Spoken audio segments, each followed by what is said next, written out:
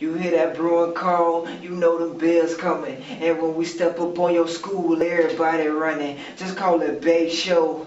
Yeah, that's where I go. And we the best at everything and everybody know. We got the hardest boys, we got the finest girls. Taking history so I can view the whole world. Gotta get my life together so I stay in school. Yeah, I cut a couple jokes but never act a fool.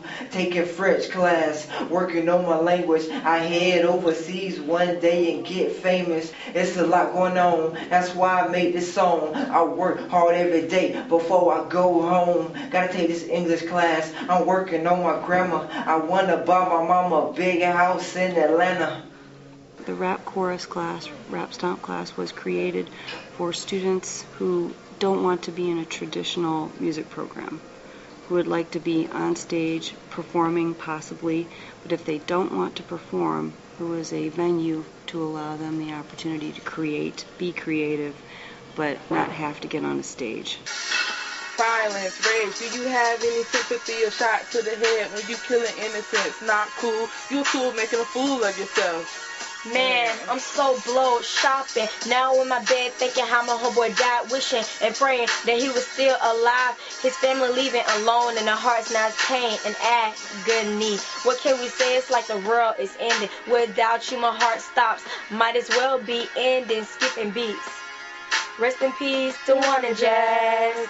And you gone, now we feeling sad. Rest in peace to one and jazz. And you gone, now we feeling sad. The first year we did it, it was an experimental program. The second year we actually got some really talented uh, boys that I had never heard rap before ever. And then this year the girls have come out.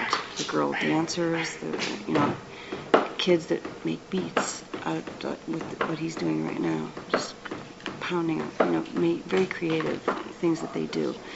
And being able to give them a way to express themselves, letting them uh, have uh, an opportunity to create without me telling them what to do. It makes you realize that stuff happens and you could be a part of anything. So you need to just take your time and enjoy you while you're living and, you know, try to do better and stay out the streets.